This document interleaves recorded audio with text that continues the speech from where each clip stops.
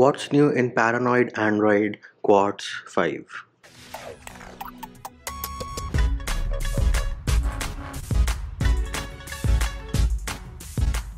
Hey peeps, what's up? Munchy here, back with another video and in this video I'm going to show you what is new in Paranoid Android version Quartz 5 which is of course based on Android 10 and this might very well be the last Paranoid Android build for Android 10 because they're supposedly starting to work on Android 11. Right off the bat you will notice that the security patch has been updated to September 5th 20 20 next up they have added app lock. Where can you find this application lock? Well you can go into settings security bam here it is app locker. Now once you enter your pin you will be greeted with a screen wherein you can select the applications which you want to lock and on top you also have a toggle to authenticate only once. And once you enable this toggle the app will stay unlocked for 15 seconds after you exit the application. And you also have another option besides each of the application you lock. So this here is the option i'm talking about. And what this is going to do is it is going to show or hide the notification content on a per app basis for the applications which you have locked. For me i have locked the phone application and let us try to access it. Bam there it is. You can see that the application is locked. And the good part here is that I was testing Corvus OS yesterday and they also implemented this app lock by Paranoid Android. However, when you open the application in Corvus OS, there was a jitter whenever you opened a specific app which was locked. That jitter is not present over here and the animation you can see is pretty smooth. And you also have the option of either using your fingerprint and there it is working like a boss or you can also use your pin. So let us open the phone application. There it is. It is locked. You can use your pin instead of the fingerprint. Before we continue I would also like to add that in case you want to have a look at the features of Paranoid Android Quartz 4 I do have a separate video for that which can be found in the pinned comment on this video. Next up for Quartz 5 they have also added DC dimming. So you can go into settings display and you can tap on advanced. Bam here it is. You have the option for DC dimming. You can enable the toggle and disable it.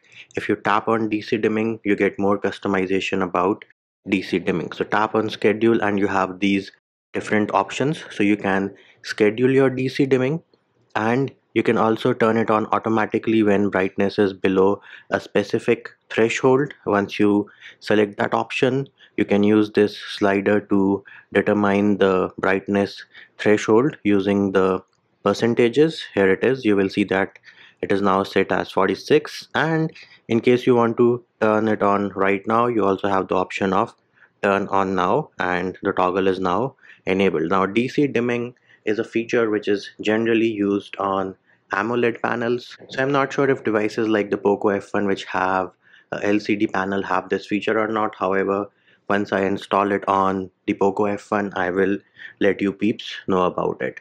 Next feature they talk about is the fact that they have added something called lock screen smart space. So what is this? For starters you do need to have always on display enabled and once it is enabled you will see that I have the temperature or the weather on my lock screen. And this is what they are calling as lock screen smart space. To enable this all you need to do is enable always on display enable your location and you should have this new feature of lock screen smart space. Next up they also say that they have added new FOD animation and icon. So this is the icon which they have added let me try to figure out the brightness a little bit. So here is the new FOD icon they are talking about and we can also unlock our device so that you can see the animation.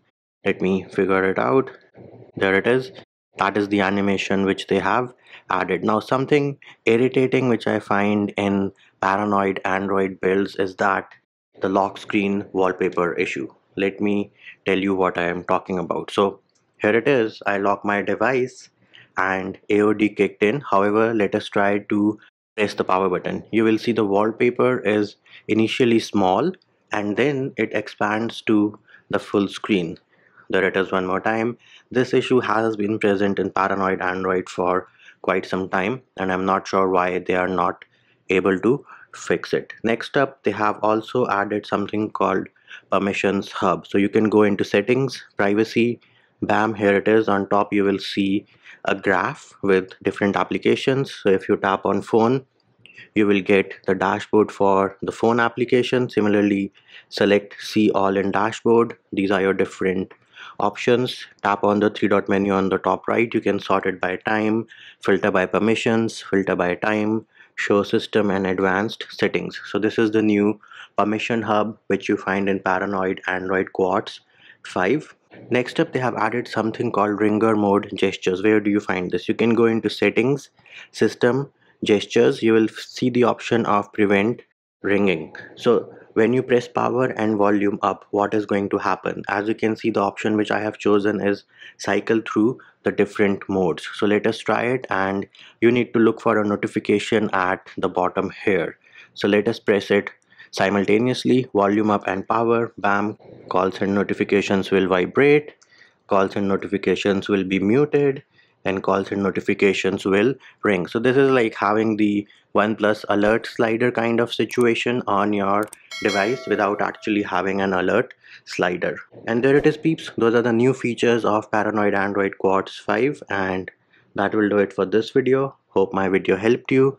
Likes shares and subscribes are appreciated. Feedback and comment more than welcome. See you when i see you